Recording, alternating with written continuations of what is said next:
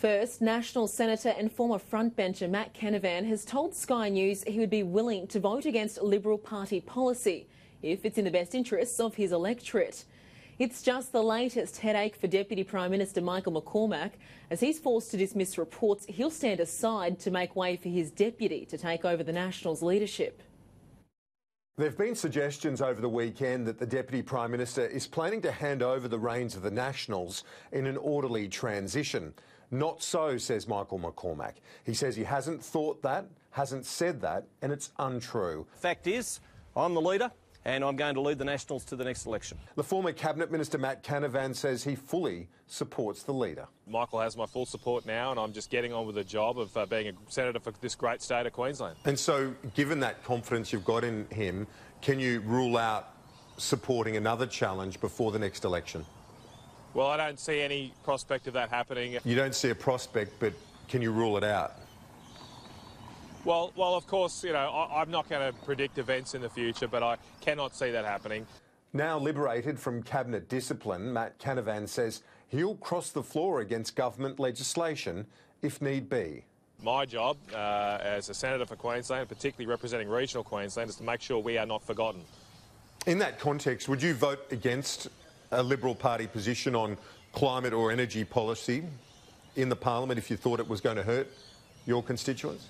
Well, look, well, the short answer is yes. There's been speculation that the Queensland senator might quit federal politics and run in the November Queensland election, but he says that idea has been vetoed.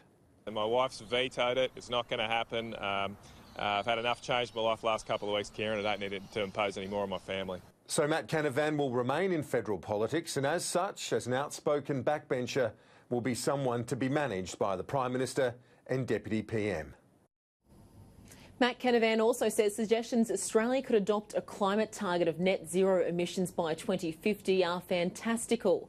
The Morrison government is currently considering a new long term emissions reduction strategy, which could include a possible shift to a net zero emissions target ahead of a UN climate summit later this year. As the Prime Minister faces a party room divided on the issue of climate change, he's also under pressure to do more from the international community, with the UK urging Australia to commit to the 2050 target. National Senator Matt Canavan has slammed the proposal, telling Sky News it doesn't make sense.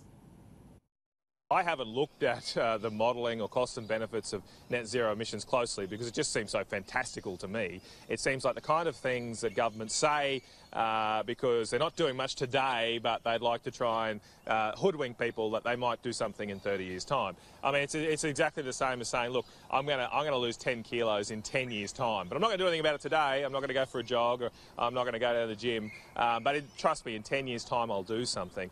Uh, I, I mean, it doesn't really sound real to me. Deputy Prime Minister Michael McCormack has also criticised a possible commitment to net zero emissions by 2050, as recommended by the International Panel on Climate Change. The IPCC is not governing Australia, the Liberals and Nationals are. We took our climate policies, we took our uh, emission reductions policies, we took all of those to the election last May and we were re-elected. The Australian people have spoken. Uh, we're not run by international organisations, we're run by Australians.